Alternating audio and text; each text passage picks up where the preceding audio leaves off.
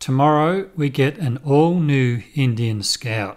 Tomorrow morning at 3am, Australian time that is. Now we don't know a lot about it, but I did ask Mark at Indian Motorcycle in Ballarat if he knew anything about it, and uh, he said um, he said no. So whether he's um, playing coy or or whether he genuinely doesn't know what's coming, but he did say it is an all new Scout.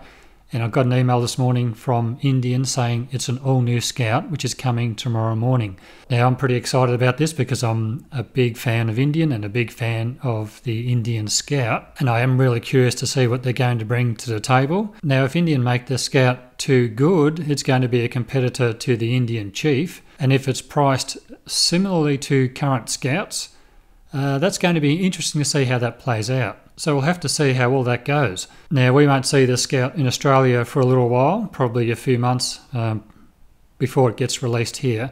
But Mark did say that as soon as it's here, I'll get a test ride, so that's going to be awesome. I'm really looking forward to seeing what Indian bring to the table. I know it will be good. Indian make great motorcycles, so this is going to be very exciting. I'll watch the video as soon as I get up in the morning and make my own video letting you know what I think of what Indian have done with the new Scout.